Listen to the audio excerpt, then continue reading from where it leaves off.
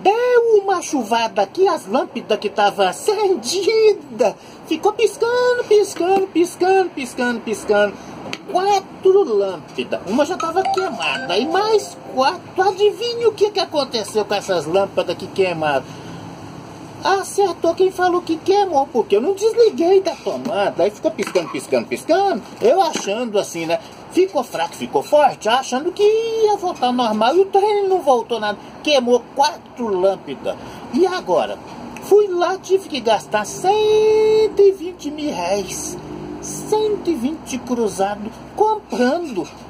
Só essa daqui foi, sei lá, 30 e tantos ou 40 e tantos mil reais. Cruzado, cruzeiro, reais.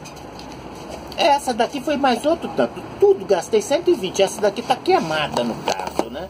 A que eu comprei é diferente. Parece que é até de plástico ela, assim, desse desenho aqui, ó.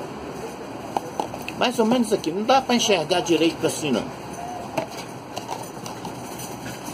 Aí, mas só que agora o trem ficou melhor do que estava, mais iluminadinho. Foi bom ter queimado essas lâmpadas, mas foi 120 mil reais de gasto. Ah, só porque eu não desliguei da tomada, podia ter desligado, né? Mas podia, mas agora, agora ficou até melhor, né? Então talvez nem podia ter desligado é nada, nem sei.